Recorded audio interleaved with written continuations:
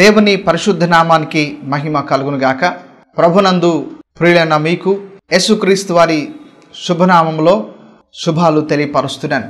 ఏసయ్య ప్రేమ అనేటువంటి ఈ ఆధ్యాత్మిక కార్యక్రమాన్ని మీరు వీక్షిస్తున్న విధానాన్ని బట్టి ప్రభుని స్థుతిస్తూ ఈ కార్యక్రమం ద్వారా అనేక మంది ఆధ్యాత్మికంగా మేలు పొందుచున్న విధానాన్ని బట్టి ప్రభుని స్థుతిస్తున్నాను ఈ కార్యక్రమాల కొరకు మీరు ప్రార్థిస్తున్నందుకై ఈ కార్యక్రమం నిరాటంకంగా కొనసాగడానికి పరిశుద్ధాత్మ దేవుడు చేయుచున్న సహాయాన్ని బట్టి ప్రభు నేనెంతగానో స్థుతిస్తున్నాను ఈరోజు ఈ కార్యక్రమంలో మనం శ్రేష్టమైన దేవుని వాక్యాన్ని మనం వినబోతున్నాం. యెషయా గ్రంథం నలభై అధ్యాయము ఇరవై తొమ్మిదో వచనంలో రాయబడినటువంటి మాటను ఈరోజు మనం ధ్యానం చేసుకోబోతున్నాం. సమ్మస్యలిన వారికి బలమిచ్చువాడు ఆయనే. శక్తిహీనులకు బలాభివృద్ధి కలుగుజేయవాడు ఆయనే. ఒక శ్రేష్టమైన వచనాన్ని ఈరోజు మనం ధ్యానించడానికి చదువుకున్నాం. దేవుడు ఏమై ఉన్నాడు ఆయనకు సామర్థ్యం ఏమై ఉన్నది అన్న మాటలు ఈ మాటలో చాలా సుస్పష్టంగా మనకు అర్థమవుతున్నాయి కదండి? ఆయన సొమ్మసిలిన వారికి బలమిచ్చువాడు. శక్తిహీనులకు బలాభివృద్ధిని కలిగించే దేవుడు అన్న మాటలు ఈరోజు మనం చదువుకున్నాం. ఇది దేవుని యొక్క సామర్థ్యం. దేవునికి ఉన్నటువంటి బలం దేవునికి ఉన్నటువంటి ప్రత్యేకత సొమ్మసిలిన వారికి బలమిచ్చేటువంటి దేవుడైన. బహుశా ఈ కార్యక్రమాన్ని వీక్షిస్తున్న మీరు ఒకవేళ నీరసిలిన పరిస్థితుల్లో కృంగిపోయినటువంటి పరిస్థితిలో నిరాధారణమైనటువంటి పరిస్థితిలో నిరీక్షణ లేనటువంటి పరిస్థితిలో జీవితం అగమ్య గోచరంగా ఉంది అని అనుకుంటున్నటువంటి పరిస్థితిలో బహుశా మీరు ఉండొచ్చు. ఈరోజు మీతోనే ఈ వాక్యం ద్వారా ప్రభు మాట్లాడుతున్నాడు. మనం ఆరాధించే దేవుడు ఆకాశాన్ని భూమిని సమస్తాన్ని సృజించిన సృష్టికర్త అయినటువంటి దేవుడు. మానవుని జీవితాల్లో ఆయన చేయలేని కార్యం ఆయనకంటూ అసాధ్యమైనది ఈ లోకంలో ఏది కూడా లేదండి. సమస్తాన్ని చేయగల సర్వశక్తి గల దేవుడు ఆయన మానవుని జీవితంలో అనుభవించే ప్రతి పరిస్థితుల్లో నుంచి విడిపించడానికి శక్తివంతుడు బలపరచడానికి శక్తివంతుడు ఏ విషయాల్లో కృంగిపోయామో ఎక్కడ మనం పడిపోయామో ఏ సమస్యని బట్టి మన జీవితాలు అంతమయ్యాయి అనుకుంటున్నామో మరలా ఆ స్థితిలో నుంచి ఆ అనుభవాల్లో నుంచి తిరిగి మనల్ని లేపగల దేవుడు చిగురు పుట్టించగలిగినటువంటి దేవుడు ఆయన నిరీక్షణ లేనటువంటి బ్రతుకులకు నిరాశలో ఉన్నటువంటి బ్రతుకులకు నిరీక్షణ కలిగించగల గొప్ప దేవుడైన. మనం చదివినటువంటి వాక్యం సెలవిస్తూ ఉంది సొమ్మ సిలిన వారికి బలమిచ్చువాడు ఆయనే.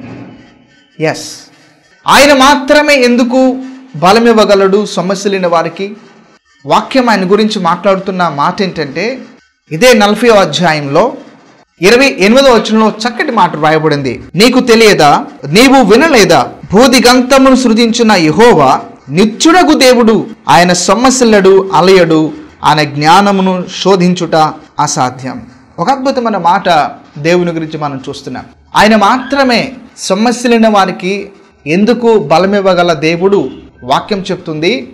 ఆయన సొమ్మసిల్లడు అలయడు గనుక ఆయనలో మచ్చుకైనా సరే కనబడదు. ఆయన సొమ్మసిల్లని వాడు గనుక నీరసిల్లిపోని దేవుడు గనుక అలసిపోని దేవుడు గనుక సొమ్మసిల్లే వారికి అలసిపోయే వారికి కృంగిపోయే వారికి నిరాశల్లో బ్రతికే వారికి బలమివ్వడానికి బలవంతుడైన దేవుడు. దేవునికి మహిమ కలుగునుగాక. ఈరోజు ఈ కార్యక్రమంలో ఆ దేవుని గురించి మనం వింటున్నాం. ఆ దేవుడు మిమ్మలను కూడా బలపరచడానికి ఇష్టపడుతున్నాడు. మీ నిరాశల్లో కూడా నిరీక్షణ మీకు కలిగించడానికి ఇష్టపడుతున్నాడు. మీరు ఏ విషయాల్లో సమస్యలిపోయారో ఏ పరిస్థితుల్లో మీరు అలసిపోయారో దేనిని బట్టి మీరు ఇప్పటి వరకు కృంగిపోతూ వచ్చారో నెమ్మది లేక సంతోషం లేక ఆనందం లేక ఆరోగ్యం లేక మనశ్శాంతి లేకుండా సతమతం అవుతున్నారో ఈరోజు గొప్ప శుభవార్త. ఆయన మిమ్మల్ని బలపరచబోతున్నాడు. ఆయన మీకు శక్తిని ఇవ్వబోతున్నాడు. ఆయన మీకు ఆరోగ్యాన్ని కలిగించబోతున్నాడు. ఆయన మీకు మంచి భవిష్యత్తును ఇవ్వబోతున్నాడు. దేవునికి మహిమ కలుగును గాక. ఎవరి జీవితాల్లోనైనా ఆయన ఇలాంటి కార్యాలు చేశాడా? సొమ్మసిల్లినటువంటి ఎవరి జీవితాల్లోనైనా దేవుడు బలపరిచిన వైనం బైబిల్లో మనకు కనిపిస్తుందా? ఎంతోమంది భక్తుల జీవితాలు మనకు బైబిల్లో చాలా సుస్పష్టంగా ఉన్నాయి. నా మట్టుకు నా జీవితంలో కూడా ఎన్నో పర్యాయాలు నిరాశల్లో ఉన్నప్పుడు నాకు నిరీక్షణ కలిగించాడు ఆయన. కృంగిపోయిన సమయాల్లో బలపరిచాడు ఆయన. మానసికంగా ఆందోళన చెందుతున్నటువంటి సమయంలో అనే వాక్యం ద్వారా ధైర్యపరిచాడు. కాబట్టి నేను కూడా నా దేవుని గురించి ధైర్యంగా మీతో నేను మాట్లాడగలుగుతున్నాను. ఈరోజు ఈ కార్యక్రమంలో ఒక భక్తుని గురించి మనం చూడబోతున్నాం. ఆయన పేరు మోషే. మోషే జీవితంలో ఒకానొక సందర్భంలో ఆయన సొమ్మసిల్లిపోయాడు నేరసిల్లిపోయాడు. ఇక నేను బ్రతకలేను. నన్ను తీసేసుకో ప్రవ్వా నన్ను చంపే ప్రవ్వా అని దేవుణ్ణి ప్రార్థించాడు. ఏ పరిస్థితులను బట్టి అలాగూ సొమ్మసిల్లిపోయాడో ఆ అనుభవాన్ని ఈరోజు మనం కొంతసేపు ధ్యానం చేద్దాం. వాటిని మనం ధ్యానిస్తున్నప్పుడు బహుశా మన జీవితాల్లో కూడా అలాంటి అనుభవాలే మన జీవితాలు ఎదురైనప్పుడు మోషకు సహాయం చేస్తున్న దేవుడు మోషేను బలపరిచిన దేవుడు ఈరోజు వాక్యమినే మీకు సహాయం చేయగలడు మిమ్ములను కూడా ఆయన బలపరచగలడు. పిల్లారా మోషే దేవుడు ఏర్పాటు చేసుకున్న గొప్ప దైవజనుడు.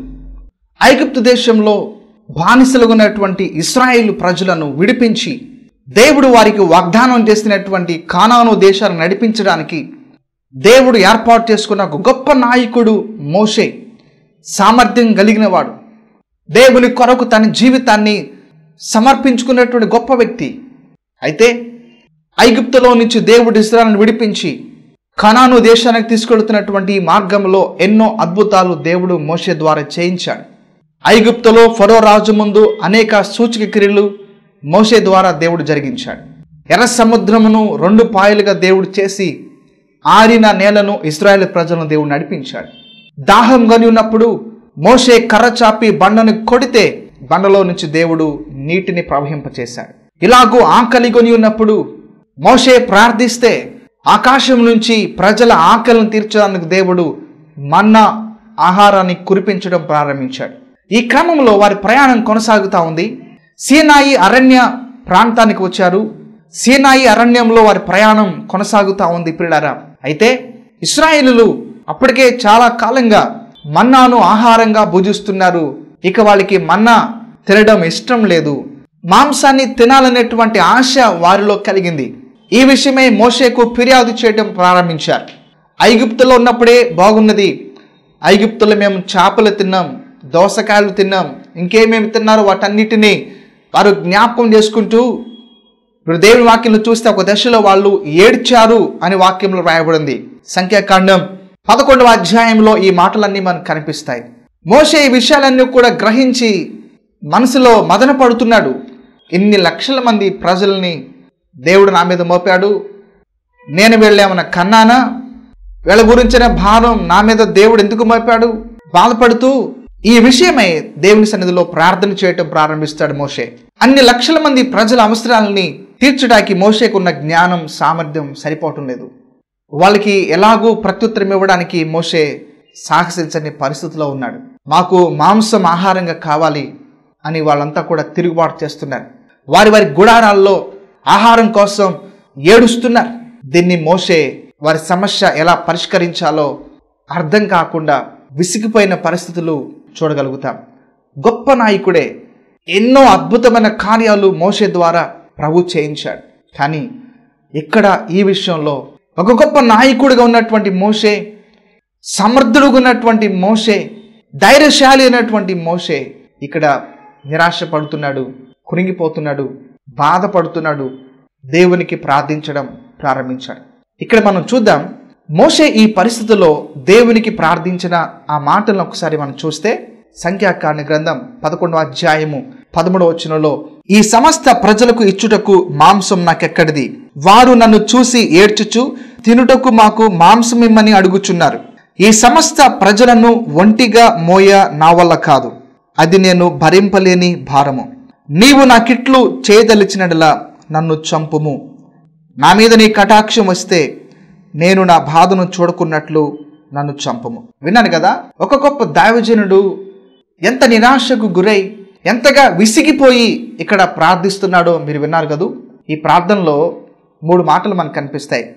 నెంబర్ వన్ ఈ ప్రజల్ని ఒంటిగా మోయడం నా వల్ల కాదు. రెండవదిగా ఇది నాకు భరించలేని భారం అని చెప్పాడు. మూడవదిగా ఇక నేను బ్రతకలేను ప్రభా నన్ను చంపు అని ప్రార్థిస్తున్నాడు. చాలా సందర్భాల్లో మన జీవితాల్లో కూడా కుటుంబాల్లో వ్యక్తిగతంగా ఎదురైనటువంటి పరిస్థితుల్లో పరిణామాల్లో ఎంత బలవంతులమైనా ఎంత జ్ఞానం కలిగిన వారమైనా ఎంత పరపతి ఉన్నా కొన్ని సందర్భాలు మనం కూడా ఇలాంటి అనుభవాలు గుండా మన జీవితం వెళుతుంది. ఇక్కడ మోసే మాటలు చూడండి. ఈ సమస్త ప్రజల్ని ఒంటిగా మోయడం నా వల్ల కాదు.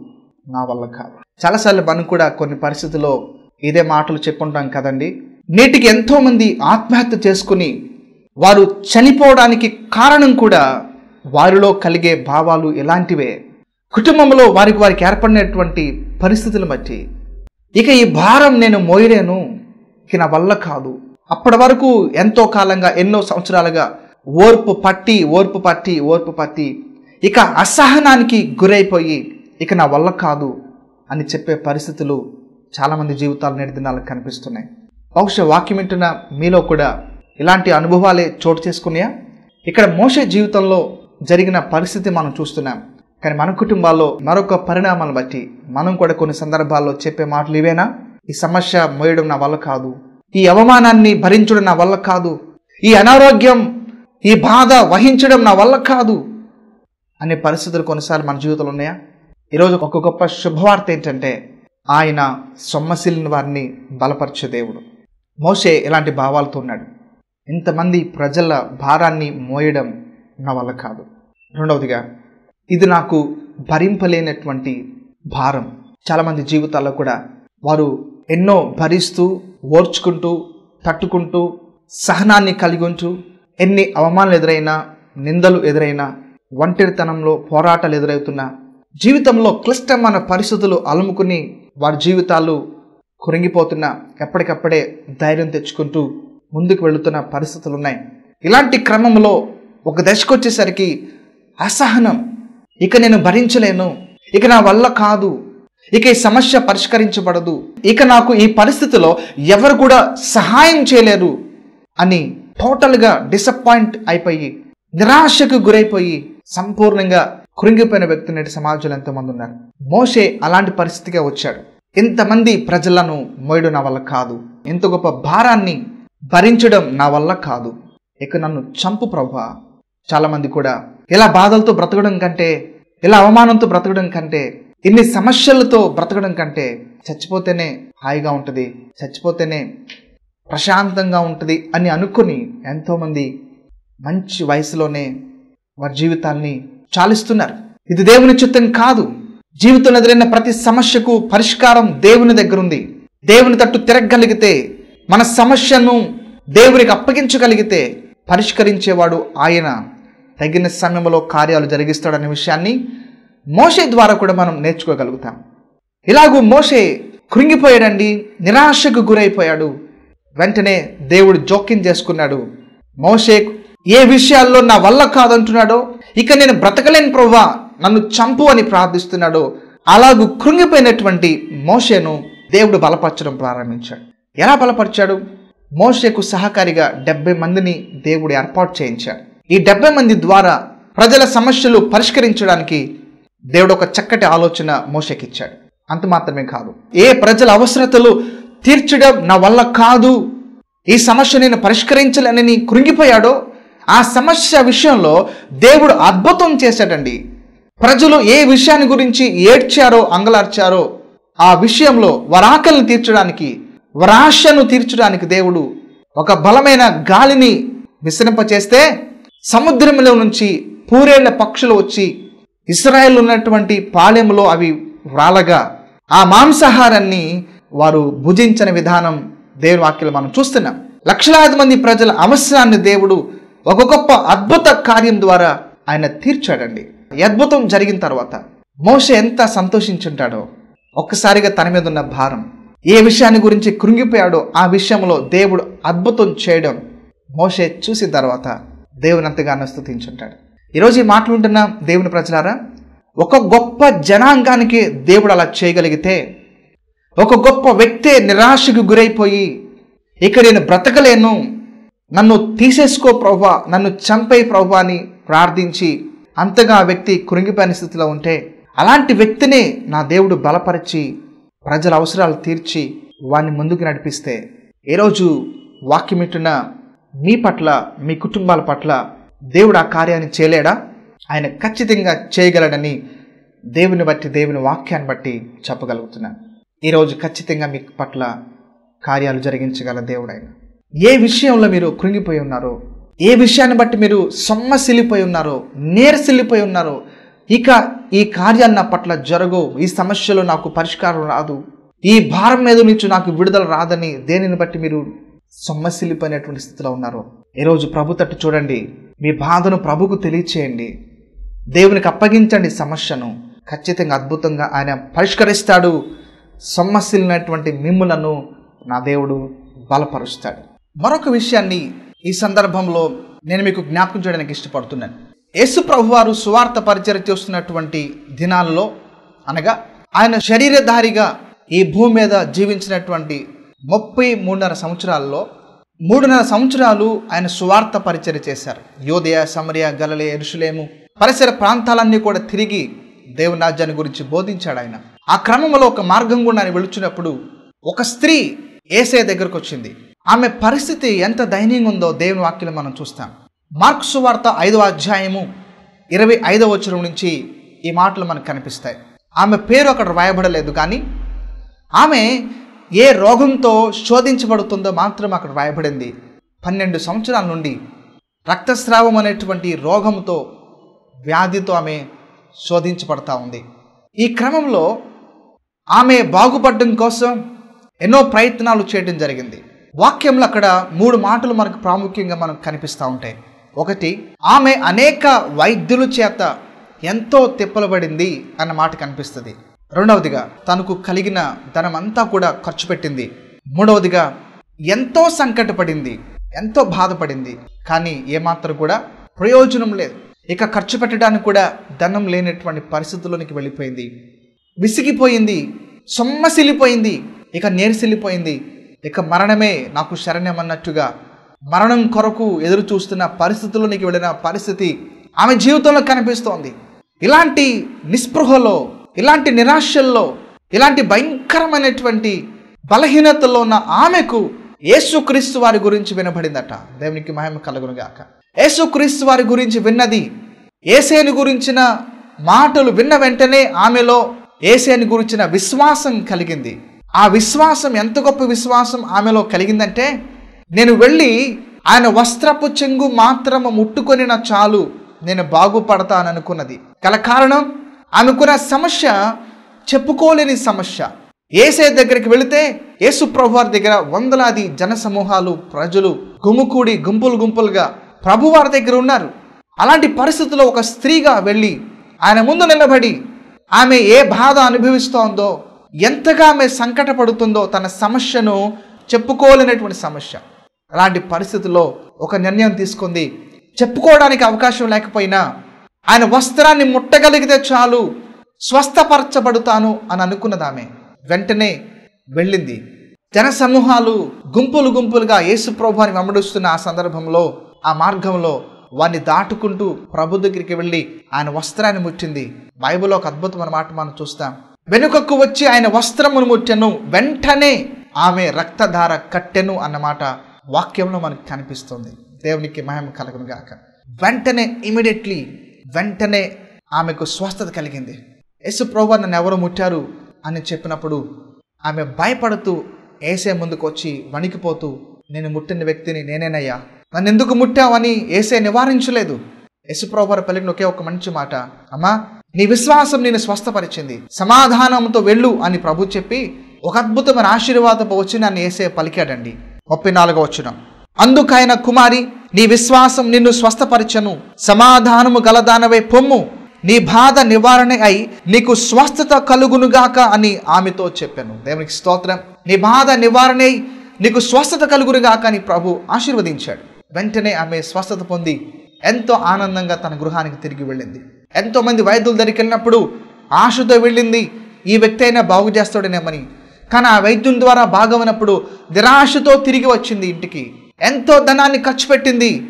అటు ధనం ఖర్చు అయింది కానీ ఏమాత్రం కూడా ప్రయోజనం లేదు. కానీ ప్రభు దగ్గరికి వెళ్ళింది. స్వస్థత పొంది ఆరోగ్యాన్ని పొంది గుండె నిండా సంతోషంతో ఆనందంతో సమాధానంతో తన గృహానికి వెళ్ళిన విధానం మనం చూడగలుగుతున్నాం. ఎస్ నా ప్రభు దగ్గరికి రాగలిగితే ప్రభునందు విశ్వాసం ఉంచగలిగితే ఏసై వైపు చూడగలిగితే ఎలాంటి నిరాశలో ఉన్నా ఎలాంటి నిస్పృహలో ఉన్నా ఎంతగా కృంగిపోయినా ఎంతగా సొమ్మసిల్లిపోయినా నా దేవుడు తిరిగి బలపరుస్తాడు స్వస్థపరుస్తాడు ఆదరణ కలిగిస్తాడు ఆనందాన్ని కలిగిస్తాడు మంచి భవిష్యత్తును కలిగిస్తాడు. ఏ విషయాలను బట్టి కృంగిపోయారో ఆ విషయాల్లో ఆనందపడే రోజులు ఇస్తాడు. దేనిని బట్టి నిరాశకు గురైపోయారో ఆ విషయాలను బట్టి సంతోషపడే రోజులు ఇస్తాడు. దేనిని బట్టి మానసికంగా మదన పడుతూ కృంగిపోయారో సొమ్మసిలిపోయారో ఆ విషయాలను బట్టి ప్రభుని స్థుతించే దినాలు ప్రభునికి ఇస్తాడు ఈరోజు ఈ మాటలు వింటున్న దేవుని ప్రజలారా ఈ మాటలు వింటున్న దేవుని జనాంగమా ఈరోజు దేవుని వాక్యం మనతో మాట్లాడుతుంది. సొమ్మ సిలిన వారికి బలాభివృద్ధి కలిగించువాడు ఆయనే. వాక్యంలో ఎనభై నాలుగో కీర్తనలో కురహు కుమారులు రాస్తూ నీ వలన బలమునందు మనుషులు ధన్యులు యాత్ర చేయు మార్గములు వారికి అతి ప్రియములు అని దేవుణ్ణి ఆరాధించారు. ఎస్ దేవుడు బలపరిస్తే మన యాత్ర మన జీవితం అతి ప్రేమగా ఉంటుంది ఆశీర్వాదకరంగా ఉంటుంది. నిందలు రావచ్చు సమస్యలు రావచ్చు పోరాటాలు రావచ్చు కృంగిపోయే కృషించిపోయే పరిస్థితులు రావచ్చు సమస్యలిపోవచ్చు కానీ దేవుని తట్టు చూడగలిగితే ప్రార్థన చేయగలిగితే నీ సమస్యను దేవునికి అప్పగించగలిగితే దేవుని చిత్తానికి నిన్ను నువ్వు సమర్పణ చేసుకోగలిగితే నా దేవుడు కార్యాలు చేయటం ప్రారంభిస్తాడు. అద్భుతాలు చేయటం ప్రారంభిస్తాడు. సొమ్మసిల్లినటువంటి జీవితాలకు బలాన్ని కలిగిస్తాడు. అపోస్తున్న పౌలు కూడా ఇదే మాట చెప్పాడు. నన్ను బలపరచు వాణిని బట్టి సమస్తం చేయగలను. I can do all things the one who strengthens me ఆయన నిన్ను కూడా బలపరుస్తాడు. నీకు కూడా ధైర్యం ఇస్తాడు. బలపరిచే దేవుని వైపు చూద్దామా? ఆ దేవునికి ప్రార్థన చేద్దామా? దేవునికి మన సమస్యను అప్పగిద్దామా? దేవుని చిత్తం జరగడానికి మన జీవితాన్ని దేవుని చేతుల్లో పెడదామా? ఖచ్చితంగా ఆయన సమ్మసిల్లిన జీవితాల్లో బలాభివృద్ధిని కలిగించి ఆనందాన్ని సంతోషాన్ని సమాధానాన్ని ఇస్తాడు. ఈరోజు వాక్యమైనటువంటి దేవుని ప్రజలారా ప్రభు ఈరోజు మీతో మాట్లాడారు. ఈరోజు ప్రభు తట్టు తిరగండి. ప్రభునందు విశ్వాసం ఉంచండి. ఆయన చేయబోతున్న అద్భుతాలు ఈరోజు మీరు చూడబోతున్నారు. ప్రార్థన చేద్దాం. మీ కొరకు ప్రార్థించడానికి ఇష్టపడుతున్నాను. మీరు కూడా నాతో పాటు కలిసి ప్రార్థనలో ఏకీభవిస్తారా? ఈరోజు దేవుని కార్యాలు మనం చూడబోతున్నాం. ప్రేమగల మా ప్రభ మహోన్నతమైన మీ గొప్ప నామాన్ని బట్టి ప్రార్థిస్తున్నాను తండ్రి. ఎంతమంది బిడ్డలు కన్నీరు కార్చి ప్రార్థిస్తున్నారో వారికి ఉన్న సమస్య ఏదో వారికి ఉన్న బాధ ఏదో ఏ విషయాలను బట్టి విసిగిపోయారో నిరాశకు గురైపోయారో సొమ్మసిలిపోయారో వారు మీ సన్నిధిలో ప్రార్థిస్తుండగా వారి పక్షమున నీ సావుకుడిగా ప్రార్థిస్తున్నాను. ఈరోజే మబ్బు తొలగినట్లుగా వారిని ఆవరించిన ప్రతి నిరాశల్లో విడుదల కలుగునుగాక. ఏ విషయాల్లో సొమ్మసిలిపోయారో ఈరోజే పరిశుద్ధాత్ముడా వారిని మీరు బలపరచుదురుగాక అని ప్రార్థిస్తున్నాను. మీ హస్తం వారిని బలపరచునుగాక అని ప్రార్థిస్తున్నాం. నీ వాక్కు వారిని బలపరచునుగాక అని ప్రార్థిస్తున్నాం. ఇది మొదలుకొని నూతన ఆనందం నూతన విడుదల దైవికమైన స్వస్థత నీ ప్రజల కుటుంబాలకు వారి జీవితాలకు మీరు అనుగ్రహించబోతున్నందుకే మీకు స్తోత్రాలు. ఏసే నామమున ఆశీర్వదించి ప్రార్థించి వడుకుంటున్నాను తండ్రి. ఆమెన్. ఆమెన్. దేవుని కృప మనందరికీ తోడే నడిపించును గాక. ఆమెన్. ఆశ్రయించుమా?